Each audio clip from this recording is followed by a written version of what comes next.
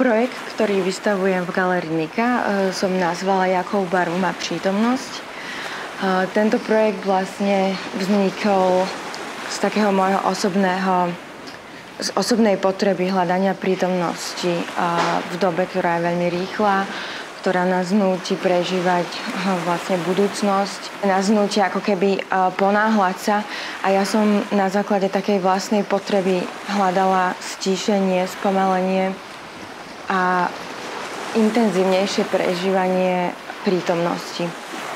Rozhodla som sa uh, využiť technológiu cold buildingu, alebo teda preklade modelovanie so šulancov, s pásikou.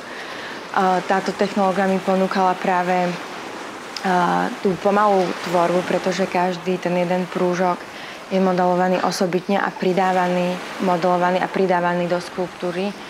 Takže vlastne tá, tá plastika sa modeluje určitým spôsobom aj sama za seba. Veľmi takým akoby signifikantným uh, alebo signifikantnou myšlienkou bola pre mňa myšlienka Anny Hogenovej, ktorá uh, vo svojich rozhovoroch alebo textoch hovorí, že dnešný človek žije v budúcnosti a prítomnosť mu uniká. A vlastne tieto slova boli pre mňa veľmi dôležité, aby som sa aj ja sama zamyslela nad tým, ako ja prežívam tú prítomnosť.